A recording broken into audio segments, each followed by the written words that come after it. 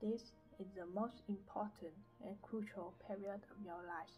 For what you do now and what you decide now at this age may well determine which way your life shall go. The question is whether you have a proper, a, a solid, and a sound blueprint.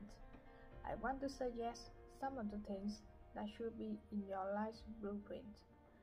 Number one in your life's blueprint must should be a deep belief in your own dignity, your own worth, and your own somebodyness. Don't allow anyone to make you feel that you are nobody. Always feel that you count. Always feel that you have worth. And always feel that your life has ultimate significance.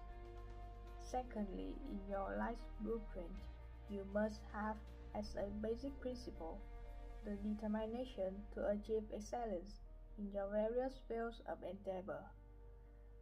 You're going to be deciding as the day and the years unfold what will you, what you will do in life, what your life's work will be. Once you discover what it will be, set out to do it and to do it well. Be a bush if you can't be a tree. If you can't be a highway, just be a trail. If you can't be the sun, be a star.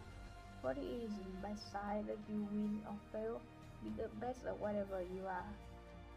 And finally, in your life's blueprint must be a must be a commitment to the internal principles of beauty, love, and justice.